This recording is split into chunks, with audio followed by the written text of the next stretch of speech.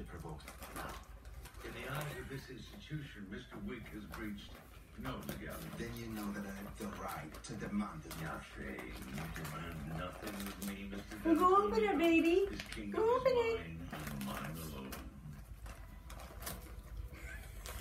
Right. Enjoy your kingdom, Winston, while you still can. And you, its privileges,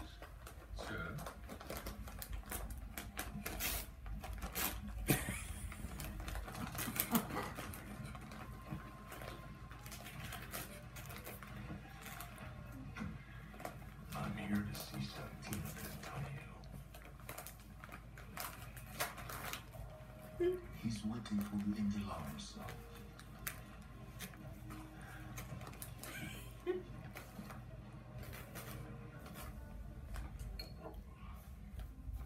How are we gonna get those out?